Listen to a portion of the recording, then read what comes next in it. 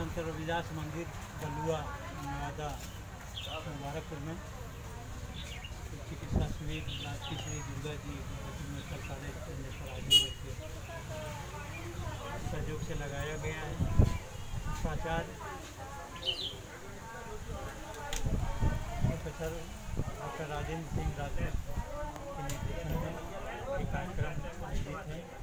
यहाँ विगत चार दिनों से लगभग 400 से ऊपर मरीज़ जो डायरिया जो कि प्रदूषित पानी के पीने से यहाँ फैली हुई है। करीब यहाँ डिस्ट्रिक्ट हॉस्पिटल और राजकीय मेडिकल कॉलेज में डेढ़ सौ के आसपास लोग एडमिट भी हैं।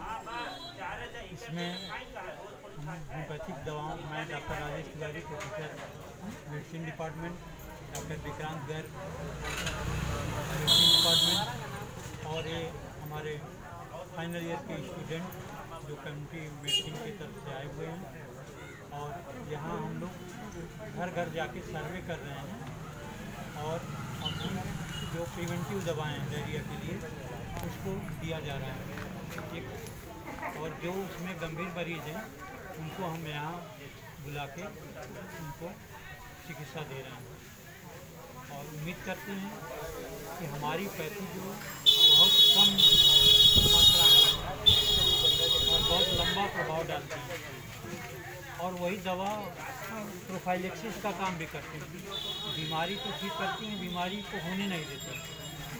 तो हम आम जनता से अपील करेंगे कि आप ज़्यादा से ज़्यादा संख्या में यहाँ शिविर का लाभ लें।